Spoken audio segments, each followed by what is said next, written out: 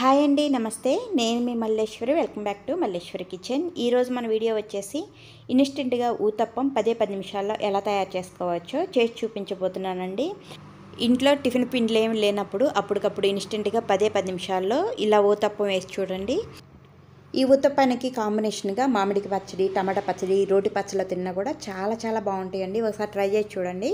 మరి ఈ ఊతప్పం తయారు చేయడం కోసం ఫస్ట్ ఒక మిక్సీ జార్ తీసుకొని ఇందులోకి ఒక కప్పు బొంబాయి రవ్వ లేదంటే సూజీ ఉప్మా రవ్వ అంటారు కదా ఆ రవ్వను తీసుకోవాలి.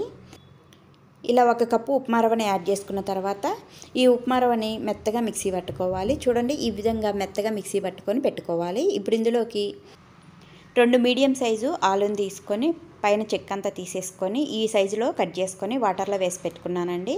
వీటిని ఈ మిక్సీ జార్లోకి వేసుకోవాలి. ఈ ఆలు పచ్చివేనండి ఉడికించినవి ఏం కాదు. ఇలా ఆలు ముక్కలన్నీ వేసుకున్నాక ఇప్పుడు ఇందులోకి కొద్ది కొద్దిగా వాటర్ పోసుకుంటూ వీటన్నిటిని మెత్తగా మిక్సీ పట్టుకోవాలి. మీరు కావాలంటే ఆలు బదులు ఒక కప్పు పుల్లటి పెరుగైనా సరే యాడ్ చేసుకోవచ్చు. చూడండి పిండిని ఈ విధంగా మెత్తగా మిక్సీ పట్టుకున్నాక ఒక బౌల్లో తీసి పెట్టుకోవాలి. ఇప్పుడు ఇందులోకి రుచి సరిపోను సాల్ట్ వేసుకోవాలి. అలాగే ఒక అర స్పూన్ జీలకర్ర వేసుకోవాలి. సన్నగా కట్ చేసి పెట్టుకున్న కొన్ని పచ్చిమిర్చి ముక్కలు సన్నగా కట్ చేసి పెట్టుకున్న కొన్ని ఉల్లిపాయ ముక్కలు వేసుకోవాలి.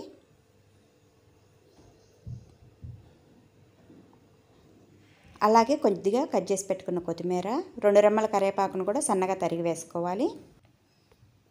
కరివేపాకును కూడా ఇలా తరిగి వేసుకోవాలి.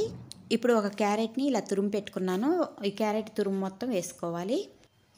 ఇప్పుడు వీటన్నిటిని పిండిలో కలిసేంత వరకు ఒకసారి బాగా కలుపుకోవాలి. మీరు కావాలనుకుంటే క్యాప్సికమ్ టమాటా ఇలాంటివి బాగా సన్నగా తరిగేసి వేసుకోవచ్చండి. నేనైతే ఇక్కడ వేయలేదు. మీరు కావాలంటే వేసుకోండి. ఇలా బాగా కలుపుకున్నాక ఇప్పుడు ఇందులోకి మనం ఇన్స్టెంట్గా చేస్తున్నాం కాబట్టి ఉతప్పాన్ని బాగా స్పాంజ్ లాగా రావడానికి ఒక అర స్పూన్ బేకింగ్ పౌడర్ వేస్తున్నాను. మీరు కావాలంటే ఈనో పౌడర్ చిన్న పౌచ్లో దొరుకుతుంది కదా ఈనో పౌడర్ అయినా సరే వేసుకొని రెండు స్పూన్లు గోరువెచ్చటి వాటర్ వేసుకోవాలి.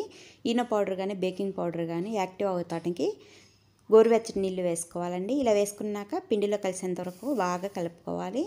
ఇలా కలుపుకున్నాక మనం ఇంకా ఎక్కువసేపు లేట్ చేయకుండా మనం వెంటనే ఊతప్పం అనేది వేసుకోవాలి. ఇందులో మనం ఆలు కూడా కలిపాం కాబట్టి ఇంకా లేట్ చేయకుండా గ్యాస్ ఆన్ చేసుకొని ప్యాన్ పెట్టుకొని ప్యాన్లో కొంచెం ఆయిల్ వేసుకోవాలి. ఒక అర స్పూన్ ఆయిల్ వేసుకొని ఇది కాస్త వేడైనాక మనం రెడీ చేసి పెట్టుకున్న పిండితోటి కాస్త మందంగా ఊతప్పం అనేది వేసుకోవాలి. ఇలా ఊతప్ప మందంగా వేసుకున్నాక ఇప్పుడు ఫ్లేమ్ మీడియంలో పెట్టేసుకొని మూత పెట్టేసి ఒక నిమిషం పాటు ఒకవైపు ఊతప్పాన్ని కాలనివ్వాలి.